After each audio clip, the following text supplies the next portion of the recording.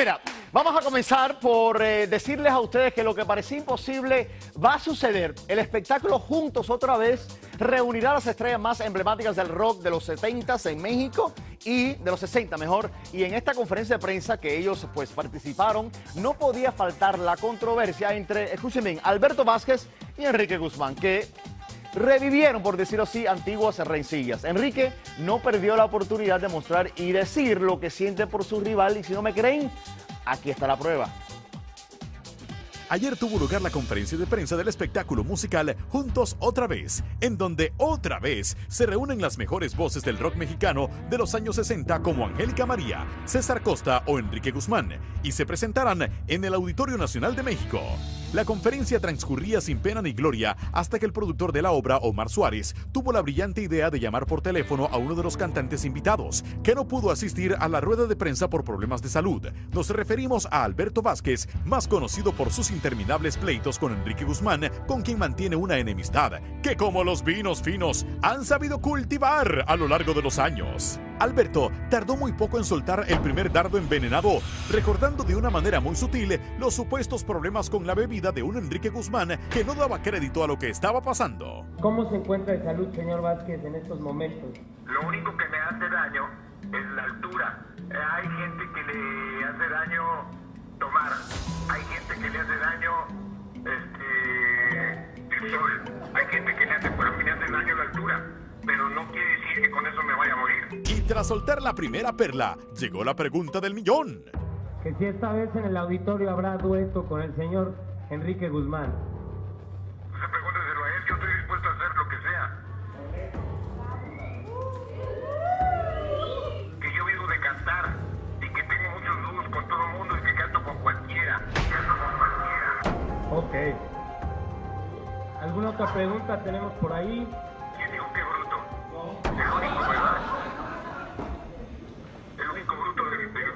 Y cuando parecía que todo terminaría así, Alberto Vázquez dejó un último mensaje para su querido Enrique Guzmán. Quizá me haga falta aire o oxígeno, pero la voz la tengo perfecta. Hay gente que no tiene, que no usa oxígeno y no tiene voz, y es que sale igual, sale peor. Un saludo a todos y ayer nos vemos. Gracias. Y fue así como terminó esta inolvidable conferencia. Y aunque el papá de Alejandra Guzmán huyó de las cámaras para no dar declaraciones, no hay duda que la guerra entre Enrique y Alberto ha vuelto a comenzar. Si se lo creen ustedes en casa, felicidades. Para mí todo estaba montado. Es que a eso mismo quería referirme, señores. Yo soy como cuando tengo los pelos del, del burro en la mano es que hablo. En el año 2012, cuando ellos presentaban la caravana del rock, esto pasó idéntico. Una conductora estaba presentándolos, hablando de este espectáculo y en lugar de decir Alberto Vázquez, ha dicho Alberto Vázquez, vamos a hablar ahora con Enrique Guzmán. Se confundió de nombre. Eso fue algo tan mediático como lo que acabamos de ver en esta rueda de prensa, que me parece maravilloso, porque al final del día, si a mí me confunden con Andrés Calona, yo tendría tremendas nalgas. Entonces, sería buenísimo que me confundan con Andreita. Gracias, Sí. claro. Pero ¿sabes qué? Alberto Vázquez dijo que cantaba con cualquiera. Compadre, canta conmigo entonces. ¿No es cualquiera? ¿Cómo? Claro, No.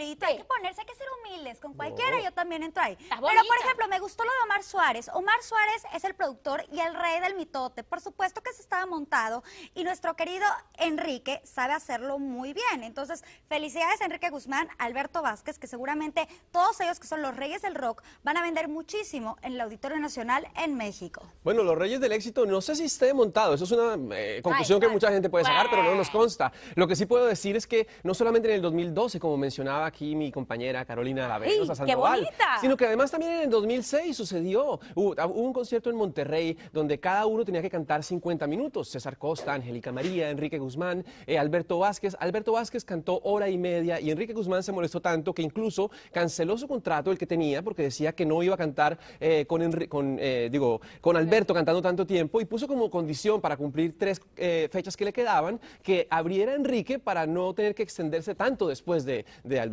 Como Carolina que pidió abrir hoy, ¿no? Sí, yo pedía, pero estoy preocupada Pero No, cierro. ella exigió. Yo cierro. Sí, ¿por qué tú ya, le dices cierro. a amiga Andrea y a mi Cierro, compañera? Ya, cierro. Yo soy Por, compañera por- por- por cuestión, cuestión de edad, cuestión de edad, señores. Mira, vamos. la sopa, suelta la sopa ya.